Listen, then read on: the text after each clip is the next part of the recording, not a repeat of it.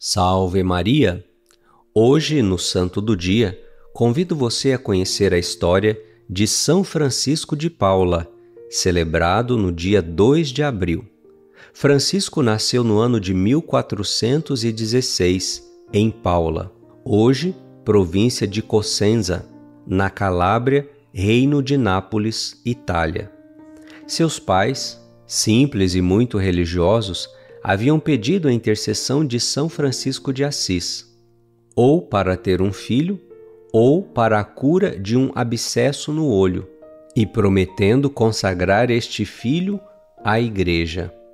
Desde pequeno, Francisco de Paula, estimulado pelo cuidado dos pais, demonstrou amor pela oração, uma vida mais retirada e também a mortificação. Entre os 11 e 15 anos, Francisco passou um ano no convento franciscano de São Marcos Argentano, em Cosenza. Mesmo não tendo feito profissão religiosa, seguia exemplarmente a regra de São Francisco, aumentando inclusive o rigor, tornando-se modelo para os frades. Depois desse tempo, pediu aos pais que o acompanhassem em várias peregrinações, Assis, Monte Cassino, Roma, Loreto e Monte Luco. Voltando à cidade de Paula, fez uma experiência eremítica numa gruta das montanhas próximas e por cinco anos só se alimentou de frutas, ervas silvestres e água, dormindo no chão e usando uma pedra como travesseiro. Com o tempo, foi sendo procurado para conselhos e outros mais começaram a segui-lo no exemplo de vida, buscando abrigo nas proximidades. Assim, aos 19 anos, havia ao seu redor um grupo que seria o núcleo da futura congregação dos mínimos de São Francisco de Paula. Por volta de 1453, com a devida permissão episcopal e com a ajuda de muitas pessoas, construiu um mosteiro e uma igreja. Consta que nesse período fez muitos milagres, como a recuperação da saúde num caso de doença incurável. No mosteiro, estabeleceu uma normatização para os discípulos, mas, para si mesmo, não diminuiu as austeridades. Só aceitou dormir numa esteira quando já estava idoso.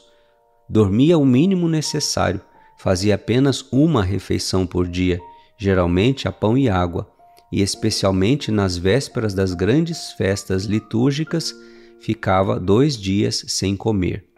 Em 1474, o Papa Sisto IV oficializou a nova ordem, a Congregação Paulina dos Eremitas de São Francisco de Assis, fazendo de Francisco de Paula o superior geral, chamado de corregedor, e com a obrigação de se lembrar de servir a todos. Em 1506, como a congregação havia já se tornado cenobítica e não mais eremítica, foram fundadas a Ordem Terceira Secular e o ramo feminino com as respectivas regras. Avisado milagrosamente da sua morte, preparou-se para ela, passando três meses na cela, sem qualquer comunicação externa. Faleceu por causa de uma febre com cerca de 90 anos entre 1505 e 1508. Seu corpo, ainda incorrupto em 1562, foi queimado pelos calvinistas. É padroeiro da região da Calábria, na Itália, e da cidade de Pelotas, no Brasil. São Francisco de Paula, rogai por nós. Oremos. Pai Santo e Eterno, que nos amais e desejais infinitamente na vossa alegria. Concedei-nos, por intercessão de São Francisco de Paula, viver a humildade que convence os maus do bem e não nos permite abusar do que é santo e sagrado, de modo a não vos ofender e a edificar as almas. Por Cristo nosso Senhor. Amém. Que por intercessão de São Francisco de Paula, o Senhor te abençoe e te guarde, te livre de todo mal e te conduza à vida eterna.